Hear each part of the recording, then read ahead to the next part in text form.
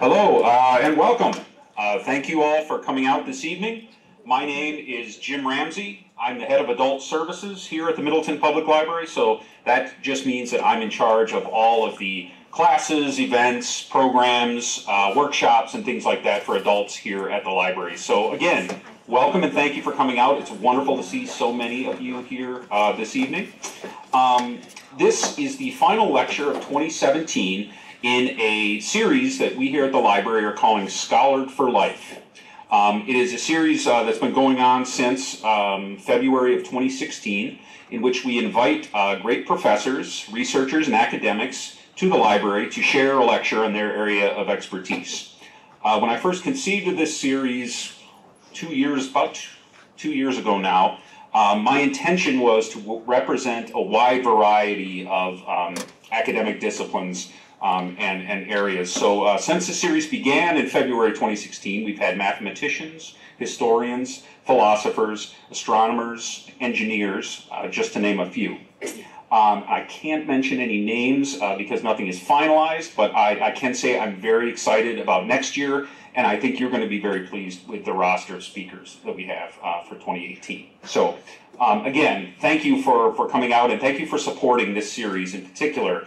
Um, this has been something of a passion project of mine, and um, I, to see the response has been uh, has been very gratifying. So.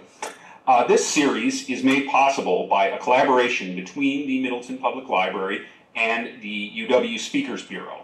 Uh, Gwen Drury and her staff, her small staff at the uh, Speakers Bureau, uh, have been enthusiastic partners with the library from the very beginning. Their commitment to uh, bringing the benefits of our great university to all the people of Wisconsin shines through in all the work that they do. Uh, this lecture series, Scholar for Life, takes the Wisconsin idea as its starting point. Uh, the aim is to promote lifelong learning, intellectual curiosity, and engagement between academics and the community as a whole. Uh, this talk tonight is brought to us by a unique four-way partnership uh, that really reflects the spirit of the Wisconsin idea. The first partner is the library, of course. Uh, we're the venue. Um, the second partner is UW Madison Speakers Bureau. They handle the logistics, um, uh, con contacting and um, working with the speakers um, to secure a date and a time. Um, the, I want to mention again Gwen Drury. She's here uh, tonight. I don't. I won't single her out, um, but uh, she's done a fantastic. No, I will stand up. One. Sorry, there she is. Uh, so uh, the, again, the, the uh, UW Speakers Bureau has done a fantastic job um, uh, coordinating all of these speakers. The third partner um, in this four-way partnership is, of course, Dr. Dunne, who I'd like to note with great appreciation is volunteering his time to be here tonight and come to speak with us. Finally, sure. finally, uh, and not the least, uh, the fourth element of this is all of you. Um, everyone in the audience uh, contributes uh, by actively engaging with our speaker at events like this. And there will be time, um, 10, 15 minutes or so at the end uh, for Q&A. Um, also, I want to mention this lecture is part of the Wisconsin Science Festival. Now in its seventh year, um, it's an annual festival, of course, uh, celebrating the sciences and promoting the sciences throughout Wisconsin. Um, this Wisconsin Science Festival runs today, uh, November 2nd through the 5th. There are events all over the state, um, many of them uh, in this part of the state. Uh, you can uh, check that out at wisconsinsciencefest.org. Uh, the Wisconsin Science Festival is made possible by UW-Madison, the Morgridge Institute for Research, and the UW Alumni Foundation. Finally, I'm almost done. Finally, I would be remiss if I did not mention our wonderful Friends organization, the Friends of the Middleton Public Library. How many of you here are members of the Friends of the Middleton Public Library? Excellent, excellent. I'm here to tell you that anybody can be a friend of the Middleton Public Library. You don't even have to live in Middleton. Uh, the Friends support all of the programming that we do here at the library, from uh, programs for very little kids all the way up to uh, very big kids. So um, there's information on how to join the Friends if you're interested. And there's also a little box um, that you'll see on your way out. There's no obligation. Uh, programs and events here will always be free. Um, but a lot of people have asked me in the past about how they can contribute and uh, contribute to programming here at the library, and that, that's one way you can do that. Okay, so now enough out of me. Allow me to introduce tonight's speaker.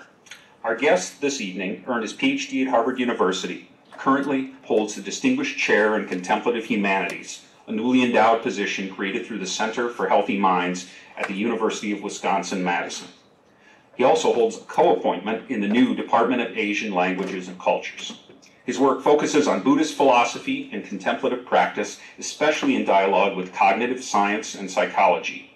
His publications appear in venues ranging across both the humanities and the sciences, and they include works on Buddhist philosophy, contemplative practice, and their interpretation within scientific contexts. Dr. Dunne speaks in both academic and public contexts, and he occasionally teaches for Buddhist communities, most notably at the Upaya Zen Center in Santa Fe. In addition to serving as a faculty member for the Center for Healthy Minds, he's a fellow of the Mind and Life Institute, where he has previously served on the board of directors. He also serves as an academic advisor for the Rangjung Yeshe Institute. Please join me in welcoming John Dunne.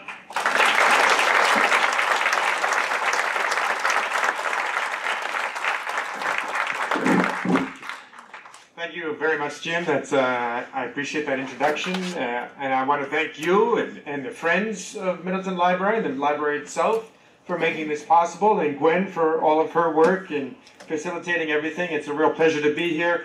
I think it's you know one of the things I really like about teaching at a public university is exactly this type of opportunity. It's uh, more than simply getting out there in the public, so to speak. It's also encountering a different way of thinking about the same kind of stuff that we do. Being able to speak with you about it, to get your reaction, to see see if it makes sense for you is actually very important for me in my own research. Some of my own research gets pretty technical and complicated, and I'll try not to get too technical and complicated tonight, although I'm sure many of you could handle it just fine. But uh, I am very curious to see if what I say tonight can make sense to you, even though it is based upon some pretty long-term research. So let me begin by saying that I am from the Center for Healthy Minds. This is a center that was established in 2008 by uh, Dr. Richard J. Davidson, who himself actually created the endowed chair that I now hold. And the, and the mission of our center, as you can see, is to cult cultivate well-being and release suffering through a scientific understanding of the mind. Now, as it turns out, I'm sure you're all familiar with the notion of suffering. It turns out there are many different kinds of suffering. And one particular kind of suffering that I'd like to point you to is something that in the Buddhist traditions is articulated as the second arrow. And this is actually a piece that came out a couple of years ago in our discovery section from the College of Arts and Sciences uh, at the University of Wisconsin-Madison in the Wisconsin State Journal. And you can find this article online. It's about this idea, this Buddhist idea of the second arrow. And uh, that is an idea that actually has become very important, as you will see, in the way in which we use mindfulness for clinical contexts. So here's the idea. The story goes is there's a fellow walking through the forest and he gets shot by an arrow. And his friends come running over and say, uh, what happened to you? What happened? And he says, Oh, I got shot by an arrow. It feels terrible. Look at all the pain that's happening to me. Why me? Why did I get shot by this arrow? It'll never end, the pain. That attitude, whoops. That's my own second arrow. so hopefully I'm not shooting it right now, but I might be. That attitude is precisely itself the second arrow. The attitude that one term we use for this catastrophizes the experience of pain. So that one is experiencing in the moment a terrible sensation, maybe an almost unbearable sensation, and then what comes with it is a mental experience. So one way of articulating this by someone named Jon Kabat-Zinn, you'll hear more about in a moment, is to say that when we shoot the second arrow at ourselves, what we're doing is we're heaping suffering on top of the pain. So we're experiencing our pain and then we're adding suffering on top of it. That second arrow is mental suffering. It's mental pain. It's the way in which we interpret our experience. Now, there's some very good reasons why this can happen to us. You know, we could uh, experience an accident, or we could be in severe pain. In some ways, it seems quite reasonable for us to have some kind of a mental reaction to it. But sometimes, actually, we don't do this because we're in pain physically. And I want to demonstrate what I'm talking about by giving you a particular kind of example of an amazing capacity that we all have. The, we humans have an amazing capacity that's connected to our amazing brains.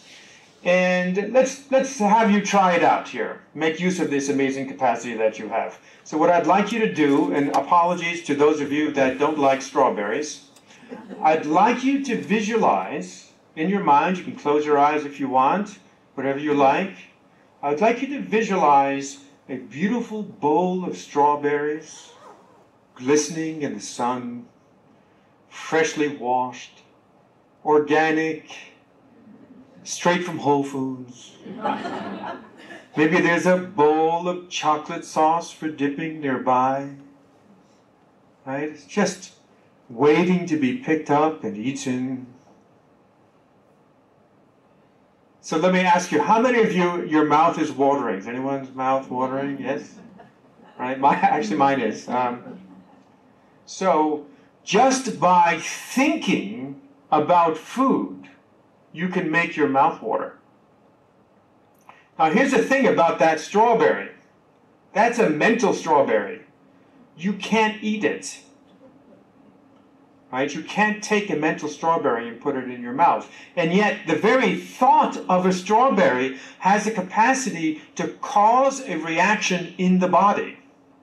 And this is because one of the ways we talk about this in the cognitive scientific context is what we called embodied cognition or grounded cognition.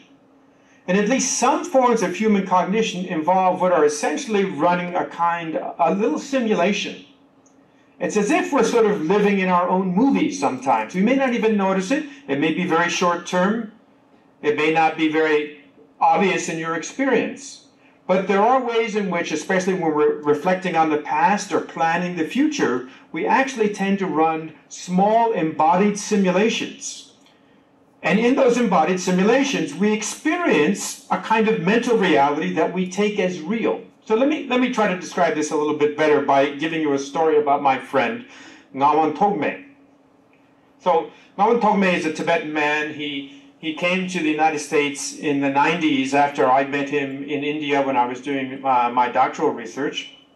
Became very good friends, and he ended up at the University of Virginia in Charlottesville, where he's a librarian. And when he first got there, the graduate students, you know, sort of to welcome him, took him out to dinner and, you know, pizza and a movie, basically.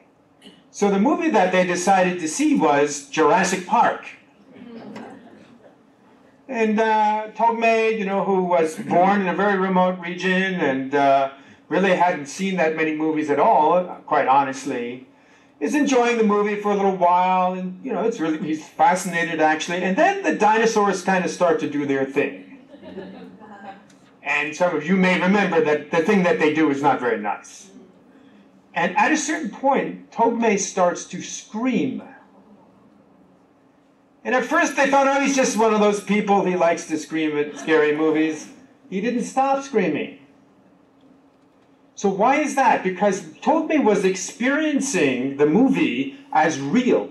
He'd never seen a computer graphic generated movie before. He thought it was, you know, CNN, like he was seeing newsreel, so to speak. This was actually happening somehow. So he experienced that movie as a reality. And as you can imagine, when we do that ourselves with, for example, the short simulation we run about the stressful conversation we're going to have tomorrow. If I'm going to be going into a meeting and I know that there's going to be some difficult issues, as I'm planning what I'm going to do, I am also can be, in a sense, kind of living in a little simulation. And if I have a relationship to that simulation such that I think it is real, I'm going to have a bodily stress reaction, what we call a fight or flight reaction, where my body gets ready to defend itself and especially gets ready to be wounded. And as part of that process, what happens is when we get into this stress response, as a result simply of thinking about a difficult conversation, we actually start to flood our system with various kinds of hormones, such as cytokines, that are designed to help us respond to an injury. In short, what we have is an inflammatory response. When we have this stress response, we almost always have an inflammatory response.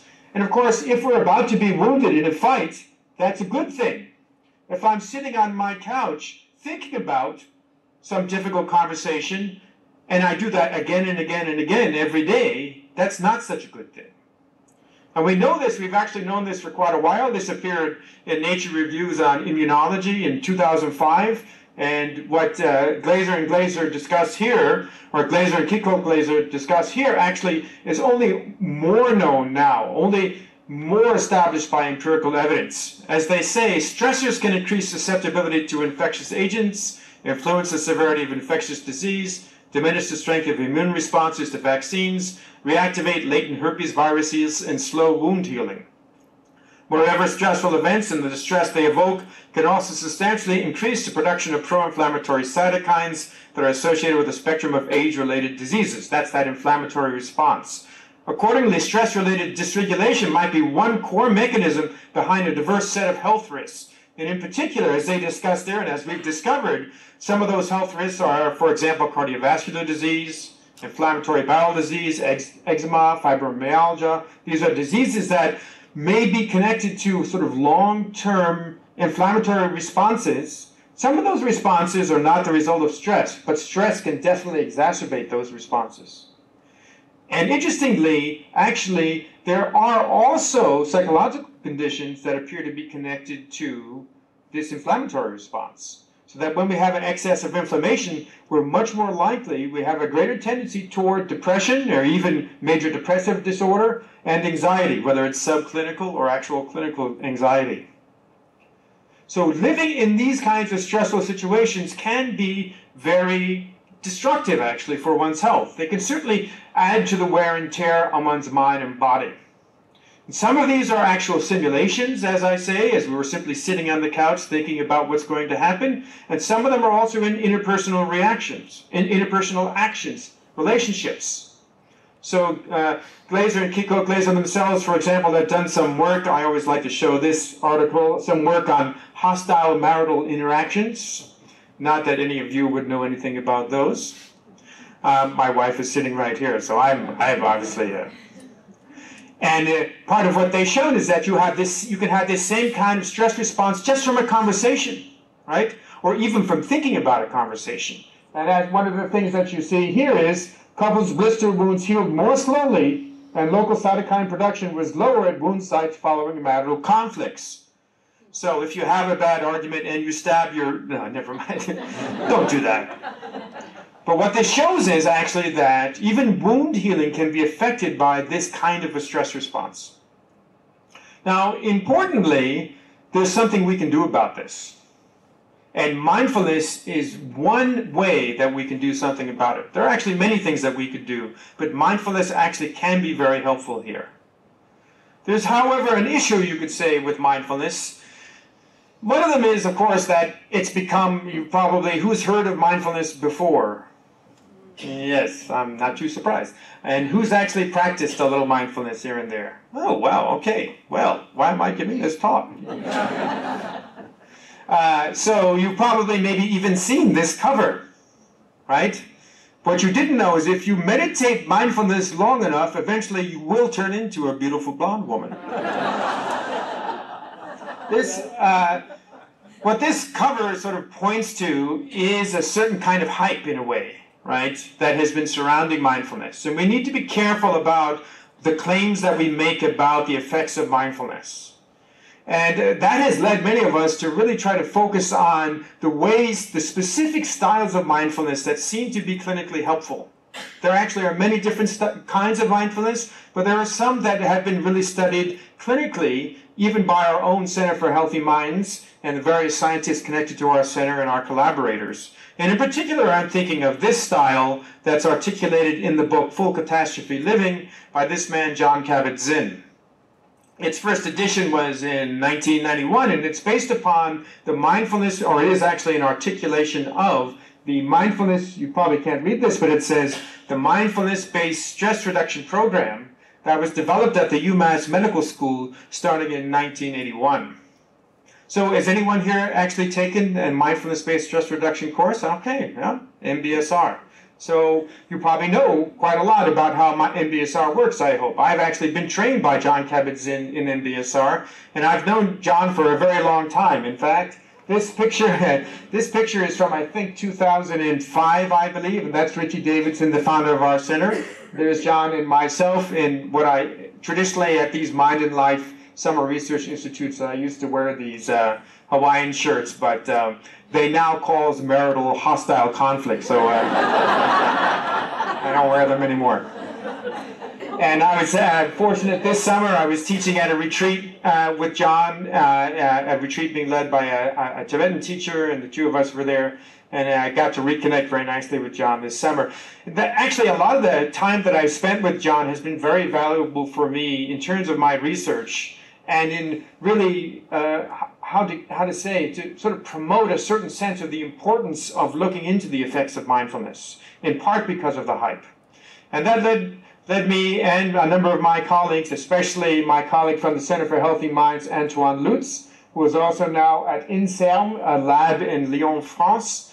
Uh, Antoine, who was just here uh, last week, actually led us in the writing of this article that was an attempt, and I realize it's got a very long and fancy name, uh, it was an attempt to come up with an account of that would a tool that would enable us to understand various styles of mindfulness and what is happening when we engage in mindfulness practice. So the first part of this article is all about the phenomenology of mindfulness. What is it like to practice mindfulness? How does mindfulness actually work in one's experience? And then the second part of the article looks at those various features that we that we postulate as being the core features of mindfulness and tries to understand how they might be realized in brain function. In order to articulate this, we actually we designed what we call the cube. And I, am going to show this to you at the risk of it being a little bit complicated. This is actually a way, what we have are three main dimensions and then four secondary dimensions. And these three main dimensions are meta-awareness, object orientation, and de-reification. And we can plot a location in the cube that then can be qualified by these other four dimensions, secondary dimensions, that describes a particular kind of practice. Right? Now, I'm not going to go into this. It's, I, I'm sure it's kind of a fascinating diagram, and I'm showing it in part because I'd be happy to make the article available to you especially those of you that have practiced mindfulness might find it interesting to look at an analysis of how mindfulness works in experience that you probably have never encountered before. But of these various dimensions, there are two that are, seem especially important for clinical effects. And these two are definitely trained in mindfulness-based stress reduction or MBSR, but they may also be trained by many other styles of mindfulness. And again, there are many different styles. And the two features are de-reification and meta-awareness. So what I'm going to do is talk about these two features of mindfulness for the next 20 minutes perhaps, and then we'll take some questions. These two aspects of mindfulness. Both of them, and indeed mindfulness in general perhaps, is really in a way about a key aspect of our experience. And you could say that mindfulness, especially as, as it is taught in mindfulness-based stress reduction, which emerges from Buddhist traditions, various Buddhist traditions, also draws on some other traditions, including, for example, Hinduism and Christianity and Sufism. So it draws on various traditions. It's, it's not just Buddhism. But one, a couple of features that it picks up from Buddhism are exactly these two, meta-awareness and de-reification. And you could say that both of these are about another aspect of experience, which is the way in which we relate to the contents of our experience. Not what the contents are, but the way in which we are relating to the contents of our experience. Whether that experience is an emotion, another person, a piece of food, or what have you. And in the Buddhist world, which is also picked up by Jon Kabat-Zinn, the way that this is articulated is that there's a kind of dysfunctional way of relating, which is actually a kind of metaphor, a physical metaphor. It's the metaphor of grasping, of graha in Sanskrit, or dzimba in Tibetan, which are the two languages that uh, we draw on especially for this paper. So when we're grasping, you can also say that we're fixating on a content. We're actually so fixated on a content that we may not even be aware of the way we're relating to that content. In a sense, we are fused with that content, fused with that experience. So, for example, when my friend Togme was in that movie watching it, he was completely absorbed and fused in the experience of Jurassic Park. He was grasping to the reality of that movie. So dereification is one of the two features that I mentioned to you. What is it? It's something that really is about letting go. It's about not fixating, not grasping. And let me give you a very simple example, or even a little exercise.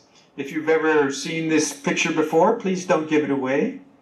So let me ask you, uh, what is this? Anyone?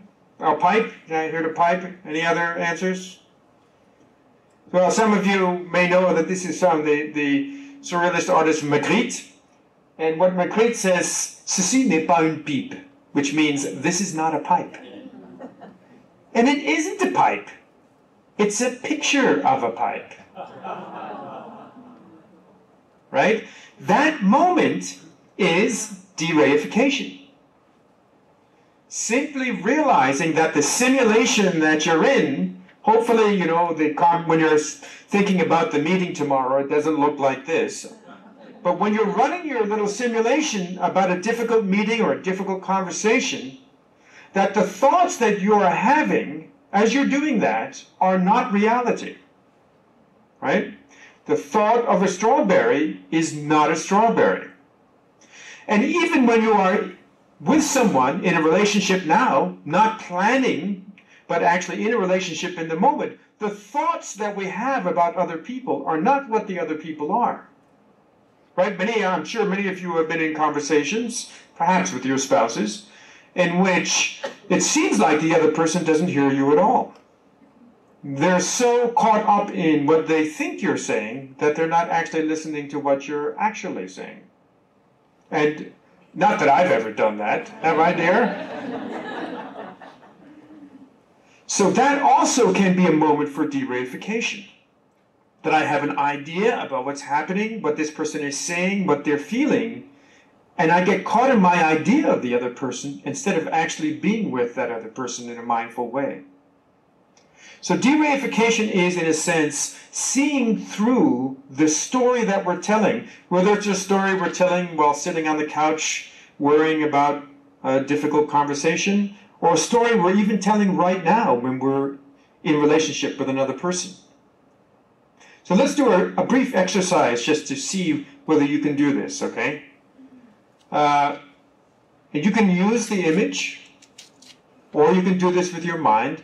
Let's let's visualize. Let's really do a great strawberry visualization job now, right? Maybe with eyes closed or looking at the image. Just try to see that beautiful bowl of strawberries. The smell is wafting. They just want to be eaten, ready to go. And now that's a thought. Look at the thought. So what happens when you look at the thought of the strawberry? Anybody? Anyone? It's disappointing. What else? It disappeared. Does anyone else? Did it disappear for anybody else? Did it actually get really hard to keep the thought going? When now, there's a reason for that.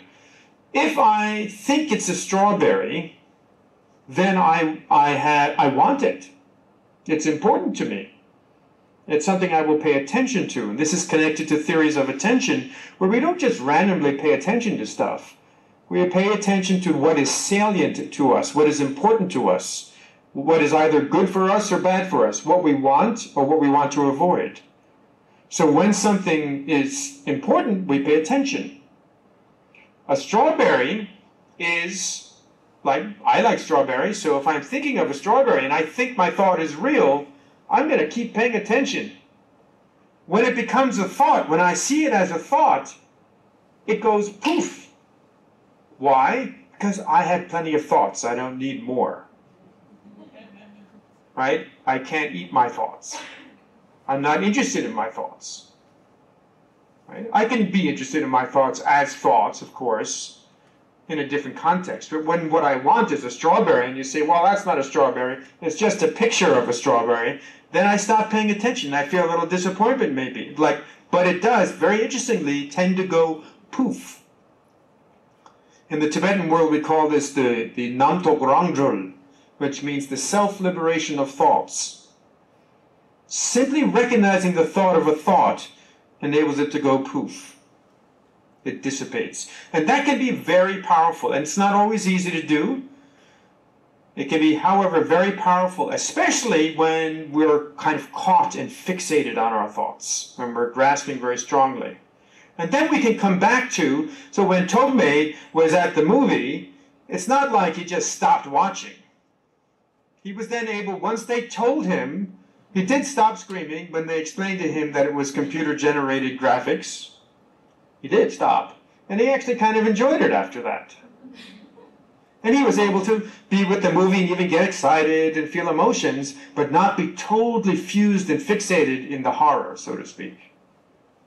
So that's what we can also do with food, and we can do that with other experiences as well. And in fact, we even know this scientifically from, through an empirical study by my friend uh, Larry Barsalou. And Larry Barsalou, my former colleague at Emory University, is now University of Glasgow, and Esther Papies. Uh, Larry and Esther did some great work actually specifically on food and demonstrated how this capacity for dereification is something that we all have. It turns out to be a capacity also that seems to be very important, not just in mindfulness, but also in cognitive behavior therapy. Because part of cognitive behavior therapy as well is the capacity to drop one interpretation of your life, to drop one story, and maybe find a more reasonable story. The capacity to drop that story is dereification. Seeing through the stories we tell about ourselves, seeing through the way in which our thoughts present as reality. That doesn't mean not thinking, it means having a different relationship to your thoughts. However, there's an important, another important feature of mindfulness that's really necessary for this, and that's this other one that's represented in our cue, meta-awareness. You need meta-awareness in order to engage in dereification. And let me explain why. Let me tell you, give you a little sense of what meta-awareness. Let's suppose go back here for a second. Let's suppose, you know, we, uh, we decide to go on a camping trip. We're out on the Tibetan Plateau, actually. And uh, how we got there, we won't worry about that. But we're out on the Tibetan Plateau. It's early morning. We're, uh, uh we get out of the tent and, you know, we sort of walk over to a, an area where we can see this beautiful vista. And then we see this amazing sunrise taken by a very skilled photographer sitting right there, my wife. We see this beautiful sunrise. Just amazing. And then we turn around and we go back to the tent a couple of minutes later, and I say, as we're boiling up some tea, I say, uh, Well, how did you feel when you were looking at the sunrise? Right? I could see that you were completely absorbed in it at the time, like totally absorbed in the sunrise, and just wondering how you felt. Now, when I ask you that question, do you think you have to, you, do you say to me, uh, just a second, I'm going to go back, I'm going to go back to the sunrise and I'm going to look at it, and then I'm quickly going to look inside to see how I feel? Or do you already know? Even though you were completely absorbed in the sunrise, you also know how you were feeling at the same time. Right? So here's another way of talking about that's we're starting to get into meta awareness. Here's another way of thinking about it. Very simple exercise. I'm going to give you a timestamp. I'm going to make a sound. All right, so I just want you to sort of, you can be looking at the screen or at me or what have you. Okay, ready? One, two, three. Okay, that's our timestamp. Now let me just ask you, at that timestamp, do you remember you were looking, right? So uh, were you the one looking or was it somebody else? What is the crazy professor asking? Did you, do you, is that a question that you have any difficulty with? Does it seem a little silly? Like you already included in your memory, right, of looking at the screen or looking at me, was your sense of the subjectivity of the I, the, the I as in me, the I looking out, right? But you weren't paying attention to that. Was anyone, while they were looking at the screen, quickly checking to make sure it was them while they were looking? Nobody was doing that, right? I mean, actually, in certain psychopathologies, this can be an issue, really. And in certain meditation practices, you try to just you try to sort of create a sense of like, wait, who's doing the looking here? But in our ordinary state, when I ask you that question, you remember yourself, whoever that is, as the one see, looking. How do you do that? How do you know what your emotions were while you were looking at the sunset? You weren't looking at your emotions, but you know what they were. You weren't looking at your sense of the subjectivity, the one who's looking out, and yet you knew it without a doubt, right? How is that happening? That's happening through what we call meta awareness. Now, strictly speaking, it's happening through a more basic capacity, which is reflexivity. I'm not going to get into those details. Let's just call it meta awareness. What does this mean, this meta awareness? Sometimes it's occurring in this background way, and that's when we tend to call it reflexivity. Like we're just sort of all of this information about our body position, about our sense of being the subjectivity, about our location in space and time, all of that is being supplied even while you look at me. So you could be totally focused on the on this screen completely, and yet you know your body position, you know your relative position in space. You don't sort of lose track of whether it's yesterday or today. All of that is maintained. It's being maintained by this background capacity of your consciousness. And that background capacity of our consciousness is what enables us to notice things when we need to that are not about objects. They're not about what we're experiencing, they're how we're experiencing. So a part of our minds is always doing this. A part of our minds is always presenting to us the quality of our experience. When we get into, let's say, a big argument, hopefully at some point I notice before I get into the big argument, I will start to notice that I'm getting upset, right? I, I, assume this has happened to some of you. You'll be having a conversation, and at a certain point, you kind of notice, oh, I'm starting to get a little heated up here. How do I notice that? I could be checking inward periodically, I might be doing that. But more likely, this kind of aspect of our consciousness suddenly becomes salient to us. We notice it because it's important in the context. Just like if there were a loud sound right now, we would all look over at the loud sound. Right? So one of our background tasks is to survive and loud sounds might be dangerous, so that will definitely draw our attention. But otherwise, we're probably not really listening to all the background noises in this room, like the hum of the fan.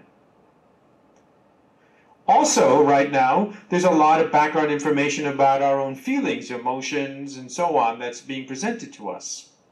It's not really relevant, probably, for most of us right now. But it can become relevant. The big problem is that our system is generally really focused on objects, and there's good reasons for that, good evolutionary reasons. That's, you know, to survive, we needed to get stuff and avoid stuff. As social animals, as it turns out, as primates, part of our very really big brains are probably actually connected to our capacity for social cognition. And that means that we have a lot more meta awareness probably than many other kinds of, of uh, creatures. So even though we're focused on objects most of the time, we humans actually have a little more access to this kind of background than most types of other primates even. And that access to background actually is something that you can train. And that's a good thing because you need it to do this dereification. Now, dereification is not something that is, uh, how to put it, uh, it's not a new technique, something that you can't already do. Anytime you, you drop a train of thought, anytime you're in the middle of a, let's say you're in the middle of a, uh, of a daydream, you're on the beach in the Bahamas, and then at a certain point you realize, I'm not on the beach in the Bahamas.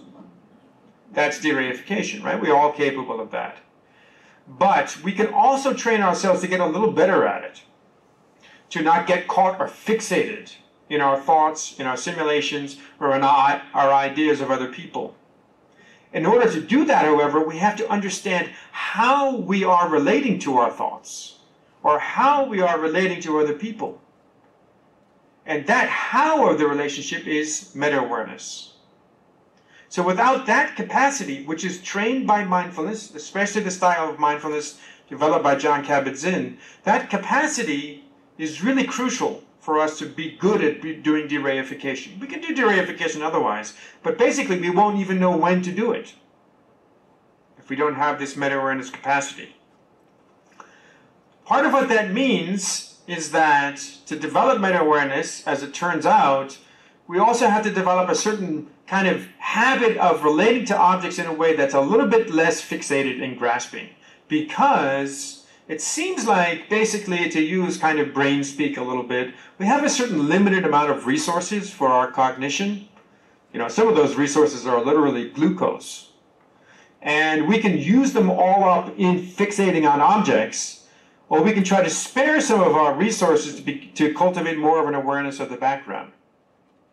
So some of you, when you've done mindfulness meditation, you may have done a kind of mindfulness meditation which is very strongly focused on the object. But you may have also been encouraged to do a kind of mindfulness meditation in mindfulness-based stress reduction, for example, in which you're sort of invited to maybe not even have an object, to just sort of have an open awareness. Or you're on the object, but you're invited to kind of notice the quality of your awareness even while you're on the object. So those ways of training, where you're, let's say, for example, you pay attention to the sensations of breathing, that's a standard mindfulness technique.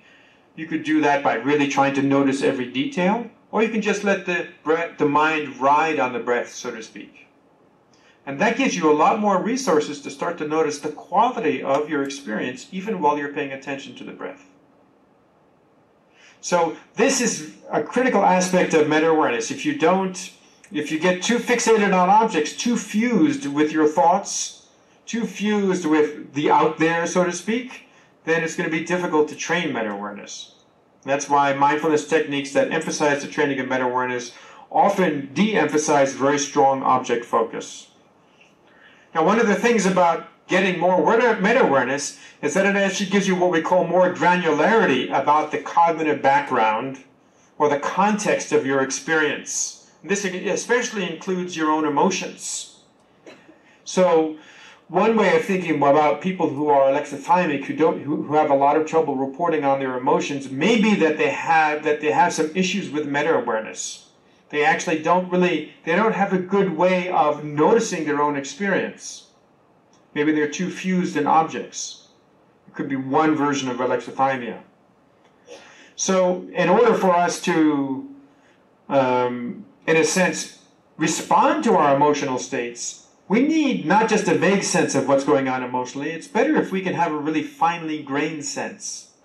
So, the more that we can be clear about what's happening to us emotionally, and even move past our stories about what's happening and actually observe what's happening, the better we have the option, the better the possibility for us to actually change our experience. In other words, meta awareness gives, an, gives us an ability to assess the, our relationships to thoughts, to emotions, to feelings, to what's going on in the present moment, and then, and then perhaps to adopt a different relationship to those thoughts to those feelings, to those emotions. And that's a lot about, that is a lot of what mindfulness is about, especially the kind of mindfulness you would learn in mindfulness based stress reduction. The good news is you can actually develop these capacities. We're quite clear about that. And the even better news is we're starting to get clear exact about how they work. It seems that dereification in particular, as I mentioned to you previously, may be a really critical feature for dealing with certain types of psychological issues. And meta-awareness may be a kind of skill that's great not just for psycholo- dealing with psychological issues, but it actually may be very healthy for relationships in general. Remember, this is not about kind of turning inward and retracting from the world. It's actually about having a broader, more open experience of the world itself. So perhaps one day we'll all be able to uh, go to Tibet together and practice our meta awareness. I hope. Thank you very much.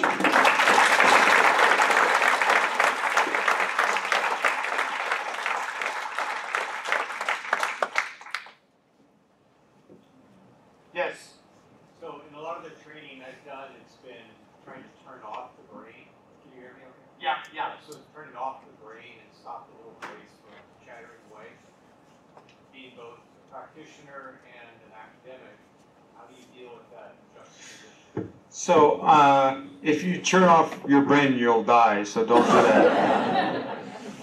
Uh, um, unless you can get a different brain. And, no. Um, uh, the uh, and, and here there certainly are styles where you like you really try to kind of stop thoughts, but the style of uh, of mindfulness that I'm pointing to more here, which is my understanding of mindfulness-based stress reduction style, uh, as I learned it from Jon, and that's related to other styles of mindfulness that I practice more in Buddhist contexts.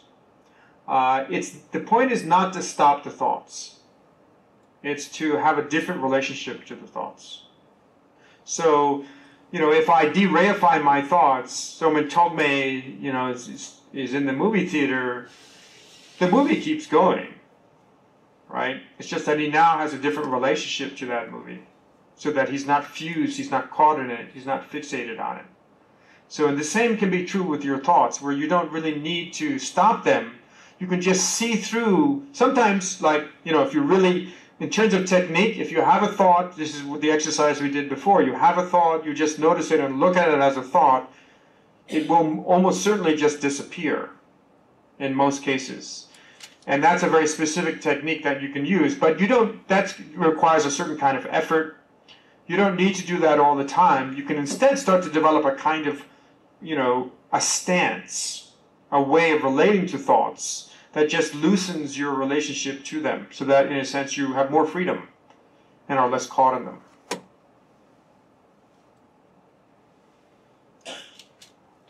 If you do that thing where you actually dereify the thought and you make it go away, part of what's really useful about that is it sort of shows you, even if it's a really difficult thought, like you say, oh, it really is just a thought. And that experience then starts to set up this deeper habit of relating to all thoughts differently. I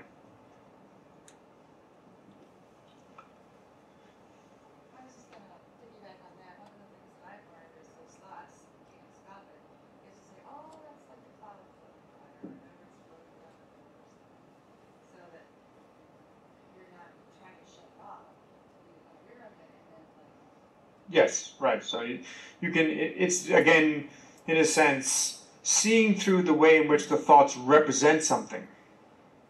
Right? So, you know, if we even look at this picture, on the one hand, it's uh, it looks like a sunset, but on the other hand, I, I don't know what I did, but there it is. Uh, or if you go to this, let's find our strawberries a little bit clearer.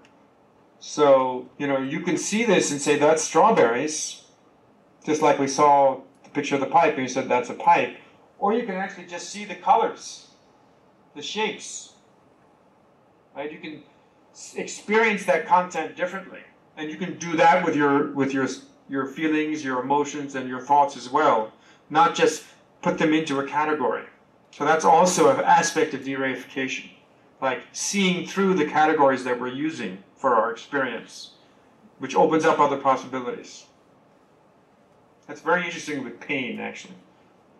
That's just what I was going to ask about is chronic pain, where what was originally danger signals no longer represent danger; they're useless signals, and that's an active area of research. I wondering if you guys do that, how brain. We just, uh, I just, uh, when was it? Monday, right? Did a, um, a doctoral defense of uh, by Joe Wielgosz, who's now uh, he's one of our students in the clinical psychology program and uh, uh, an advisee of Richard Davidson's, and I was on his dissertation committee. He's now doing his internship at the VA Center in University of Michigan in Ann Arbor, and Joe's dissertation title was "The Second Arrow." And it was all about pain. Actually, we've done we have a couple of publications already out, and he's going to be producing another one uh, chronic pain in particular, so we didn't study chronic pain, and we, uh, it's something that I think we will move to. There's a researcher at the University of Utah named Eric Garland, who I've uh, collaborated with a little bit, and we may do some more. And he's been doing some more research on this also with people who've had op- opioid addiction. And one of the things about chronic pain is that it's not a danger, but that it often has a very heavy component of the second arrow, where there's a story about the pain that people get stuck in. And you know, learning how to just move past that story can be very powerful. And then the second, so there's the story about the pain, and then there are there's this there's the experience of the pain can actually kind of be fit into a category so that you know, for example, if I say, "Oh, those are just strawberries," then I don't really pay any attention anymore. I've figured it out. They're strawberries, and I'm done. Instead, I can say, well, there's this color, and there's that white glint, and there's those round shapes, and the little yellow dot. I can start to look past my initial categorization.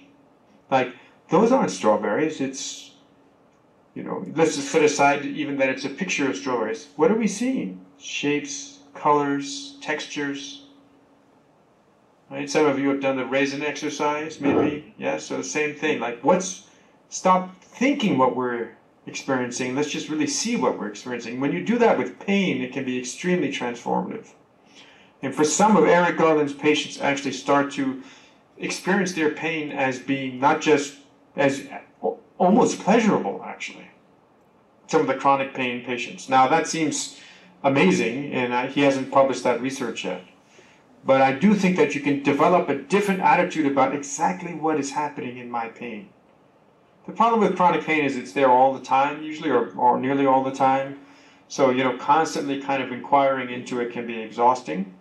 But a few moments can be, I think, very powerful. Change the story of the pain. Also on the UW Madison campus is the Wisconsin Alzheimer's Disease Research Center focusing upon caregivers and care partners and the stressors that come with that experience. Um, is there anything happening with the, the mindfulness? So uh, I um, we actually have some peripherally uh, Alzheimer's related research on in brain inflammation. Um, and I, I, should mention that a couple of my colleagues, uh, uh, uh Chuck Raison, uh, who's also a new chair in the center, and uh, Melissa Rosenkranz, a scientist, do a lot of work on this inflammatory on these inflammatory issues, which may have some relevance to Alzheimer's. But uh, there have been studies on uh, the use of mindfulness for Alzheimer's caregivers that, and for also uh, autistic uh, parents of autistic children, and um, uh, for example, Elissa Epel uh, in, in, at the University of San Francisco has done some work on this, and UC San, San Francisco, and I think the what it, the indications that, that I recall are that um, mindfulness can be very helpful for relieving the stress of the caregivers. And that generally, actually, there, the, there's a positive response in the one receiving the care as well, because basically there's less stress on the caregiver. So uh, I don't know of anything that's going on here right now with that, but that's a really intriguing idea. There is, of course, the UW Health Mindfulness Center, and some of you have probably done your MBSR course there, maybe? Some of the, yeah, so that's a place where you can do MBSR, uh, get take the eight-week MBSR course. We are developing another program called the Healthy Minds Program, which will be an app-based uh, course that will be available in another year or so. Uh, but I think that actually the UW mindfulness, the UW Health mindfulness program may have been doing something with Alzheimer's at one point. I just don't think we did research, but it's a very important area, and some people have done research on that. Yes. I was wondering if you could relate those two principles to, for example, a person who receives uh, very bad news, death in the family, severe accident. When someone gets this news, what kind of response would they two? So what we're interested, we're, really interested in in the Center for Healthy Minds, and we're about well-being and about, as Richie likes to say, Richie Davidson likes to say, you know, the kind of mantra is well-being is a skill that you can acquire. You can get better at well-being. And one way of thinking about a critical aspect of well-being is something we call resilience. And you can just kind of generically represent resilient the way resilience might look if you're measuring some feature of resilience is that there would be a challenge and the graph would go up of whatever you're measuring. Let's say, it's for example, inflammatory response or amygdala response. And it, the graph goes up. And then in people who are resilient, so one thing is not that would not be healthy is if the graph didn't go up. If you had no response, that means you're blunted in your response to a challenge. And that's actually usually go, uh, comorbid with depression. So we're not asking people to not respond. So they have a response, but then have a response. But then that response in people who are resilient, they kind of come back to their baseline uh, quite rapidly. And people who are not resilient, who are having issues of one kind or another, they take a lot longer to get back to baseline. So in this kind of a situation, you know, if one gets terrible news, of course one expects there to be an emotional reaction, you know, maybe tears, whatever it might be. There'll be some kind of a strong reaction. It's not the point is not to resist that reaction at all. But then there's the, the, the sort of follow-up interpretation, the story you tell now that you've got that information. And one of the skills that is also connected to this, that is less in mindfulness, but more in things like cognitive behavior therapy and also in Buddhist practice, is what we call in this in the psychological world cognitive reappraisal, which basically means you you you have various stories, various ways of interpreting the situation. So if someone gets injured, and uh, you know, like I have a, a a close friend gets injured in a car accident, I can fixate on their injuries, or I can say, well, they're alive, and I'm going to go see them, and I'm going to go to the hospital and see what I can do right? And maybe I can help out the family instead of like instead of catastrophizing it, even personalizing it. Oh, this is terrible. How could this possibly happen? Right? So I can choose different kinds of reactions, but that choice depends. Maybe requires a little bit of training sometimes, actually. So that one fully experiences an emotion, but then doesn't get caught, doesn't get fixate, doesn't grasp. Time for a couple more.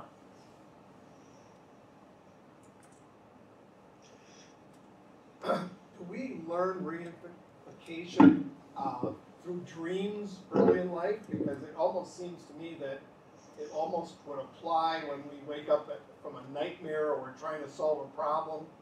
It seems like we're applying this in, in, in our sleep much more readily than we do when we're alert and awake during the day. You mean we dereify in the sleep? Dereify, Yeah, well, especially lucid dreaming, which is actually in the Buddhist world is something you can use to train yourself for this. Actually, you learn lucid dreaming so that you get better at dereifying in general.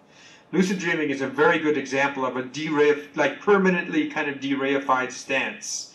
So you know it's a dream, it seems real, but you know it's a dream. And yes, dreaming can be a way of cultivating this kind of an attitude. One of the things about dereification is that it is clearly really important for healthy cognitive function, but it's just a normal capacity. It's not something, just like we wake up from a dream, we know it wasn't real.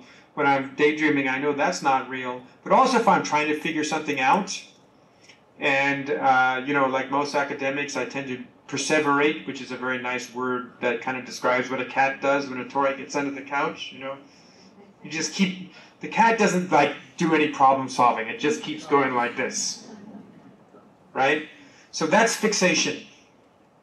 And that I have a strategy, I'm trying to solve this problem, I'm totally fixated on it, and I can't dereify.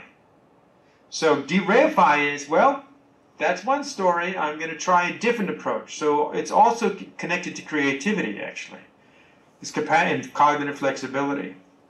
And you could say, like, we have it all the time. We have access to it all the time. But there are maybe times when it's more obvious, like lucid dreaming. Okay, I guess one more in the back. Um, now that you're, you're kind of talking about creativity, as an artist, a lot of the mindfulness classes I've taken really dovetail into more of the uh, further along art classes I've taken. A lot of the same uh, wording has come up and ideas. Is there, are there any connections at this time being made between kind of the practice of art and the practice of mindfulness? Uh, yes, there are. There's a. I'm trying to remember the name of this fellow. Uh, he's at the uh, music school, the University of Michigan.